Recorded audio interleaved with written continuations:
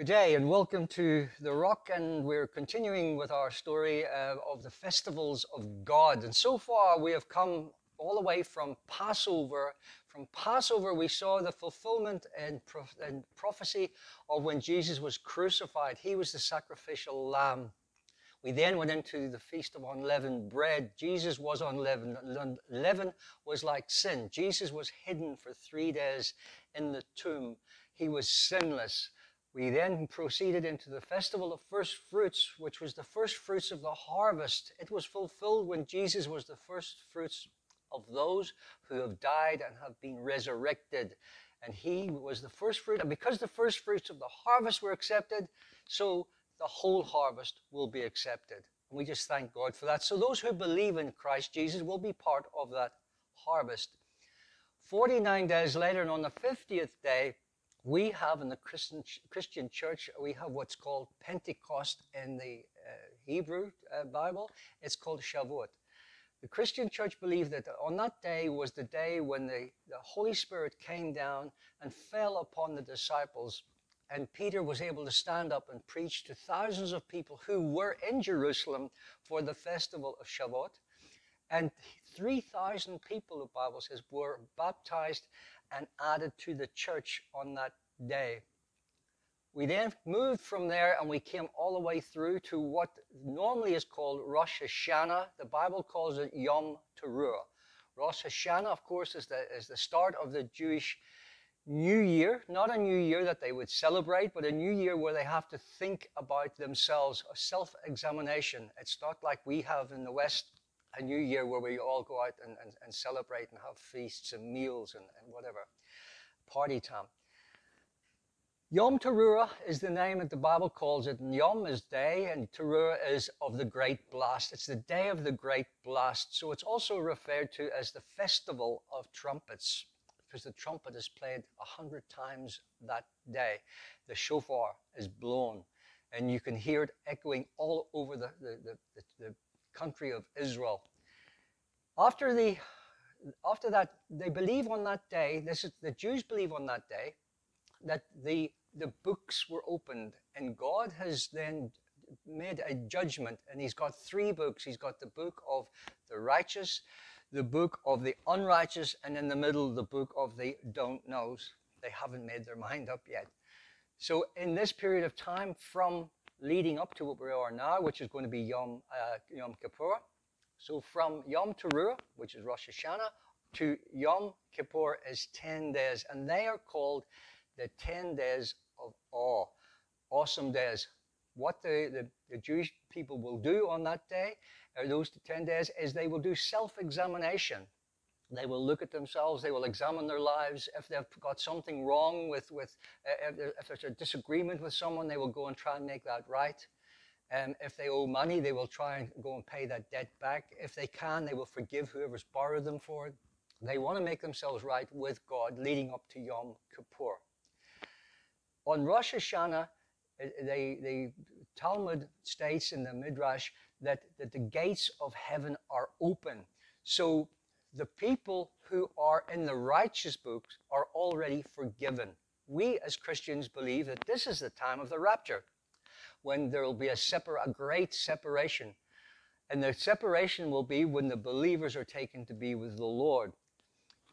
Biblically speaking, and on the, uh, the Jewish uh, religion, what they believe is that that's the time when there is a separation from the righteous to the unrighteous. And during that period of time, the unrighteous will have to examine themselves and return to the Lord. This is called a period of called teshuva, which means returning or repentance, turning back to God.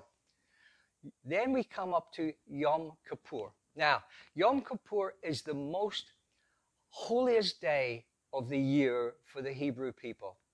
This is the day, the only festival where they actually have to fast for a period of 25 hours, one hour longer than a full day. They're told to, the Bible says that they have to afflict themselves from food. Now, afflict themselves, we often get the feeling, well, self affliction is like self abuse. The translation actually means that not uh, afflict themselves with, with fasting. In other words, to stop from all worldly pleasures, stop from from the, the eating the foods and, and drinking what you want to drink and concentrate on getting yourself ready for God. It really, the word better translated would be to humble yourselves before God. So that's what they do. That's what they, the Jewish people, even to this day, will do. And back in biblical times, this is what they did. Now, the high priest had to isolate himself for seven days before Yom Kippur. He had to keep away from the other people. He was to be totally ceremonially cleansed um, as opposed to uh, being mixing with the other priests. But he had to read the law, the Torah. He had to read the instructions of God. He had to know exactly the procedure. And the procedure was very, very complicated, which we're not going to get into today. But we are going to look at some of the procedures that do affect us because we want to see prophetically where it's going to be fulfilled. Now, when we look back to Rosh Hashanah, that hasn't been fulfilled yet. The, the, the first four uh, spring festivals have all been fulfilled in, in real life. But the Rosh Hashanah, the Yom Teruah, the day of the blast, the separation from the righteous from the unrighteous has not yet happened. And that's what we're waiting for. And then we, the, we believe that then they go into the days of self examination, the tribulation, the days of affliction when they get afflicted. And this is called Jacob's trouble or the days of uh, tribulation, and it lasts for seven years. After the seven year period of tribulation, we then believe that Jesus will return to the Mount of Olives. Zechariah chapter 14, verse 4 tells us that he will land with his feet on the Mount of Olives and he will come back again to judge the world judging the world is back to Yom Kippur. That's why it's so important um, for us to understand what it means. The priest would, would, the high priest, only the high priest was allowed to do any of the sacrifices that day. He had to do everything. He alone, no other priest could help him. He would then change from his normal, beautiful clothes uh, uh, with, with, his breastplate of, of, the precious gemstones. He would take all of that off. He would take his, his ephod off. He would take everything that was colorful and bright and shiny and absolutely stunning off that set him apart. And he would lay it down and he'd put on simple linen clothes next to his body. He would put a sash around his head, uh, around his waist, and a, a, a turban around his head. And these were white and gold. He would then on that day, he would then proceed and he had to do 15 different sacrifices on that day. He had to go backwards and forwards from the, the, the court area of the temple right into the area of, of the, the sanctuary, which is called the holy place, not the Holy of Holies, but it was the holy place where they kept the menorah and the uh, table of showbread and the golden altar of incense. 42 times backwards and forwards. He had to do that to fulfill all the commandments that were written down in the Torah. So he had quite a quite a busy day. His first time going into the Holy of Holies, which is where the Ark of the Covenant would have been kept in the first temple and in the in the tabernacle uh, in the in the Old Testament, he would have gone in there uh, first of all with the blood of a bull. He had to sacrifice a bull for his own sin and for the sins of his family. So he would go in there and he would take the blood of the bull and he had to be cleansed ritually first. And then he would then sprinkle it on the Ark of the Covenant seven times before it and on top of the mercy seat.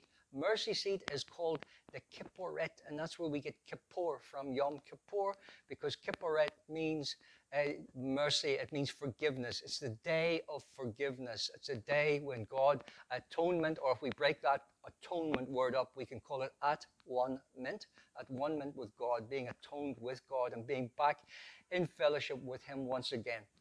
So that bull had to be it had to be sacrificed. He had to bring the blood, and it has to be a, an animal uh, that would be acceptable and clean, clean, before the Lord, because and it had to be an, uh, what they would call an innocent animal. In other words, an animal without blemish. We see this was fulfilled when Jesus was also without blemish, without sin, without fault, and he was sacrificed. He was atoned. First of all, he was atoned for himself, and he cleansed everything to do with himself. And this was all done on the cross. After the priest, the high priest back in Yom Kippur, after he had done the, the, the cleansing for himself and for his family, he would then go and get two goats, One was called the Azel, and the other one was be the, to be the one that was going to be slaughtered. Lots were cast and to see which goat was going to be the Azel, the scapegoat, uh, and which one would be the one that was going to be sacrificed. The one that was going to be sacrificed would then be sacrificed again by the high priest. He had to do everything. He would sacrifice the, the goat, take the blood, go back into the Holy of Holies, and do the same thing that he did with the blood of the bull. But this time he was doing it for the nation. He would take then, go outside. Once that was done, the people were waiting with bated breath to see if he's going to come out again or if God had, had uh, zapped him while he was in the Holy of Holies. And he come out again, and the people were lying pros, pros, prostrate on the ground, and they were just waiting for him with bated breath that he would come out again. Because this time it was for the sin of the nation. We see this is going to happen when the Bible talks about Israel going to be saved in a day. This is going to be the judgment of Israel. The time of the Gentiles, uh, we believe in prophecy, will have come to an end. We believe it comes to an end in Yom Teruah. And then God will concentrate on the ethnic group of, of, of the Israelites or the Hebrews, or today as we would call the Jews.